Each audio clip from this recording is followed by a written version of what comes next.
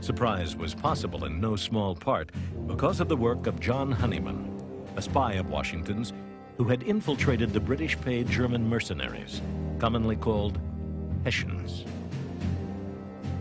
Throughout the war, I should add, Washington was his own spy master. He, he ran all kinds of spy rings inside the British Army and inside British, the British cities like New York and Philadelphia.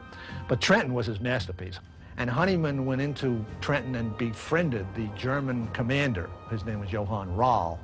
And Honeyman told uh, uh, uh, Rall, oh, I've been over on the other side of Delaware. Washington's army is falling apart. There's nothing left. He's, he's gone. You know, there's nothing. Don't worry about the Americans. Have another drink, Colonel, and so forth. Honeyman, meanwhile, would get back to Washington and give him a complete breakdown of every move the Hessians were making, the disposition of all their sentries, uh, the whole operation of this uh, Hessian outpost there at Trenton.